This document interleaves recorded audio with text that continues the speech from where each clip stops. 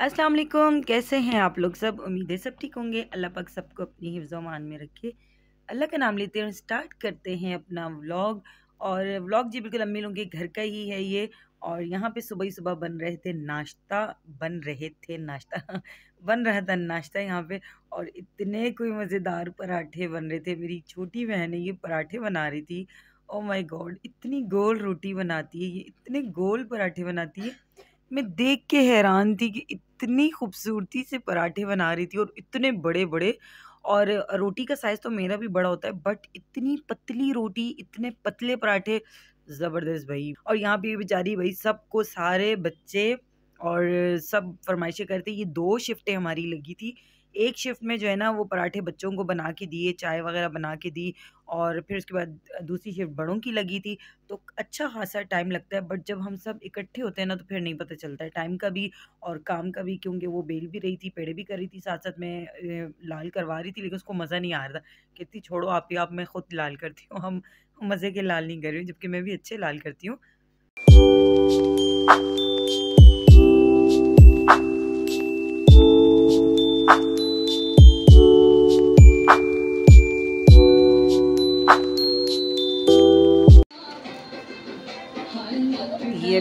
Press कर दिया। अच्छा बहनों की अलग अलग कैटेगरी होती है। अब एक बहन पराठे बनाने में एक्सपर्ट है और दूसरी सफ़ाई करने में और इस तरह के कामों में बड़ी एक्सपर्ट है। तो जो किचन का काम ज़्यादा करती ना, यानी कि नाश्ता वाश्ता बनाने के बाद, जिसने पराठे बना लिए थे, नाश्ता बना के दे दिया था, फिर वो इस तरह की सफ़ाई वाले काम नहीं करती। तो अब ये, उससे भी छोटी वाली बहन जो है ना तो ये कर रही थी सफ़ाई और पापा के कपड़े प्रेस कर रही थी। तो यहाँ पे पापा की जब वो कपड़े प्रेस करने के बाद इस तरीके से फ़ोल्ड कर रही थी ना तो मैं इसको मना करी थी। मैंने कहा, नहीं, इस तरीके से नहीं करो। आप इस तरीके से हैंगर करोगी तो फिर इसमें क्रीज़ डल जाएगी। तो कहती, नहीं, आप ही, आप एक दफ़ा देखो तो सही। तो मुझे बड़ा अच्छा लगा इस तरीके से रखना, जो कि मैंने तो खैर कभी भी नहीं रखे, लेकिन अब मैं इस तरीके से रखूँगी। एक तो जगह की भी बचत है, कम जगह लेता है, इस तरीके से आप इसको हैंग करो और एक हैंगर में दो से तीन ड्रेस आप आराम से हैंग कर सकते हो। तो मैंने कहा, वाह भाई, आपने तो बड़ी अच्छी टिप दे दी मुझे। तो ये यहाँ पे कपड़े प्रेस कर रही थी पापा के बहुत ज़्यादा, यानी कि दो तीन हफ्तों के इसने कपड़े प्रेस कर दिए थे। आई थिंक दस, आठ, दस जोड़े तो इसने प्रेस किए होंगे। तो सारे कपड़े वगैरह प्रेस करने के बाद इस तरीके से रख रही थी, क्योंकि आठ, दस, पंद्रह जोड़े जब आप प्रेस करते हो तो फिर वो काफ़ी जगह लेता है। तो अलमारी में भी इतनी जगह नहीं थी तो फिर वो इस तरीके से रख रही थी तो पता ही नहीं चल रहा था कि इतने ज़्यादा कपड़े जो है ना, वो ऐसा लग रहा था बस थोड़े बहुत ही कपड़े प्रेस हुए हैं। तो देखें, एक हैंगर में कभी दो या तीन ड्रेस को ये हैंग कर रही थी और बहुत ही अच्छे तरीके से करी थी, बिल्कुल भी क्रीज़ नहीं डलती इस तरीके से तो मुझे तो बड़ा अच्छा लगा। तो बस जी, यहाँ पे मिल के हम लोग काम वाम कर रहे थे तो ये इस तरीके से कपड़ों को हैंग कर रही थी साथ साथ सफ़ाई भी चल रही थी।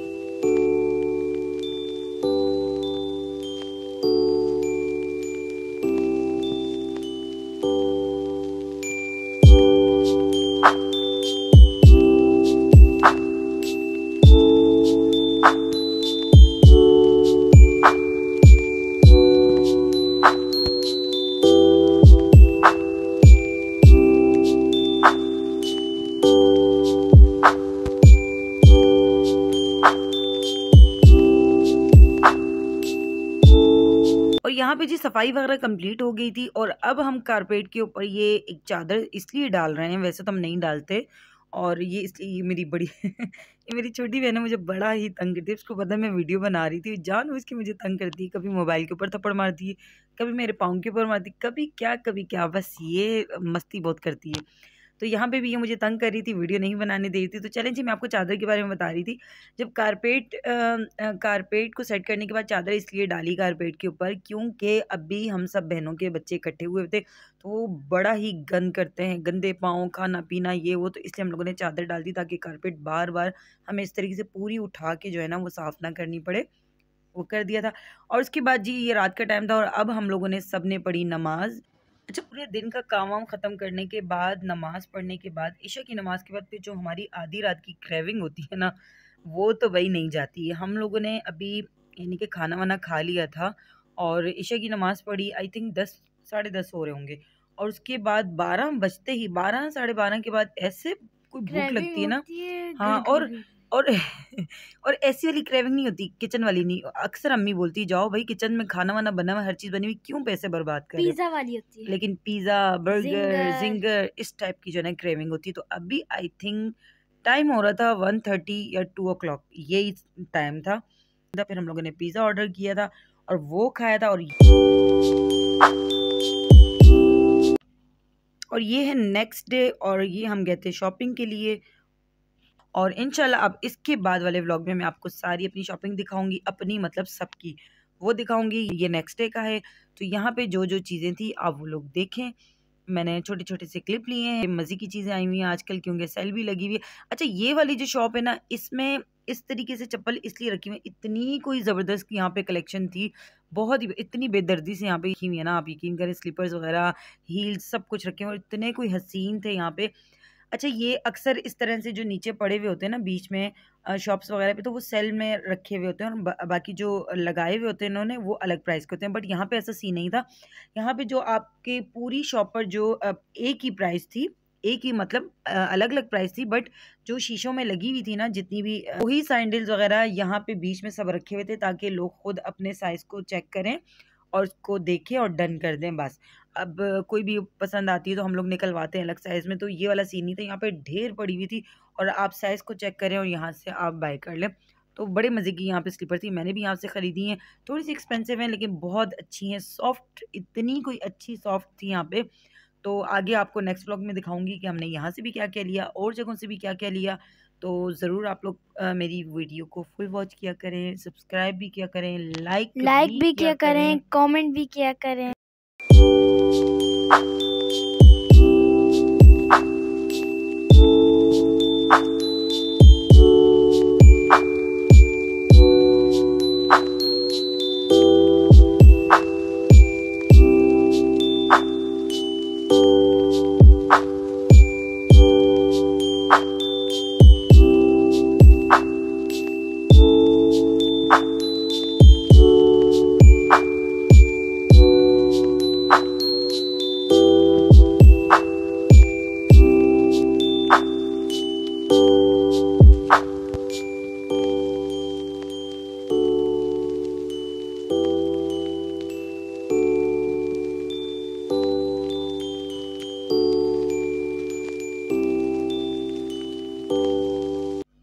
थी जी अम्मी लोगों के घर की एक छोटी सी मेरी रूटीन तो इनशाला नेक्स्ट ब्लॉग में मिलती हूँ। Like subscribe comment thank you अल्लाह हाफिज़।